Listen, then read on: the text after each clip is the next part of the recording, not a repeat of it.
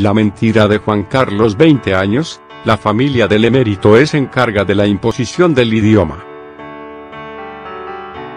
El 23 de abril, Diada de Sant Jordi, también tiene una efeméride destacada, la del rey emérito, Juan Carlos sí, negando la mayor sobre la lengua castellana el año 2001, nunca fue la nuestra, lengua de imposición, sino de encuentro, a nadie se le obliga nunca a hablar en castellano, fueron los pueblos más diversos los que hicieron suya, por voluntad libre, la lengua de Cervantes.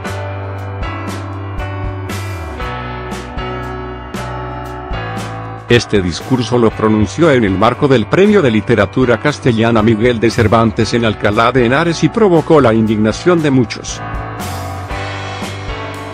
Pero eran otros tiempos, el PP gobernaba por primera vez con mayoría absoluta. Los partidos vascos y catalanes se mantuvieron en un segundo plano pero enmarcados en aquella época, la polémica no fue más allá del titular. El más crítico fue el entonces presidente de la Generalitat, Jordi Pujol que lamentó personalmente y como presidente, las palabras del rey y recordó que en Cataluña, con la transición, se hizo tabla rasa de un pasado que ahora parece resucitar. Por su parte, el socialista y líder de la oposición al Parlamento, Pascual Maragall, aseguró que tenía que estudiar el discurso para opinar. Supongo que el castellano se impuso en América Latina pero en Cataluña sí fue impuesto, y bien que lo sabemos. El entonces secretario general de Esquerra Republicana, ERC, Josep Lluís Caró de Rovira, calificó las palabras del rey como un ataque a la memoria y una falsedad y recordó que Jordi Carbonell, entonces presidente de los republicanos, fue torturado al principios de la década de 1970 en los calabozos de la policía por negarse a hablar en castellano.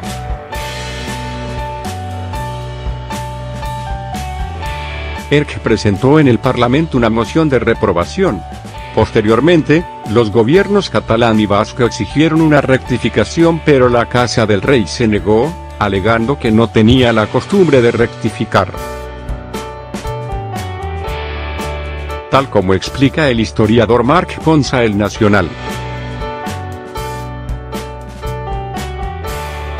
Cat, la familia del emérito ha sido la encargada, de una forma tradicional, de imponer esta lengua, Felipe V, el primer Borbón hispánico y su abuelo séptimo, impulsor del decreto de Nova Planta que destruía el sistema foral catalán, Carlos I, su abuelo sexto, impulsor de la prohibición de celebrar juicios en catalán y de tener libros de contabilidad en catalán, Fernando Vill, su abuelo cuarto, impulsor de la reactivación de la ley, redactada por Carlos I, que prohibía la enseñanza en catalán, y Alfonso I, su abuelo primero, colaborador de la dictadura de Primo de Rivera que fundió la mancomunidad y desató una persecución brutal contra cualquier expresión de catalanidad.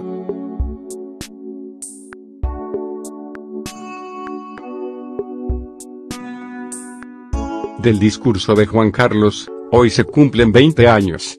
Mirando atrás, entonces estaba a las puertas de los primeros escándalos como la cacería de elefantes, su amante Corinna y las sociedades en paraísos fiscales para blanquear dinero.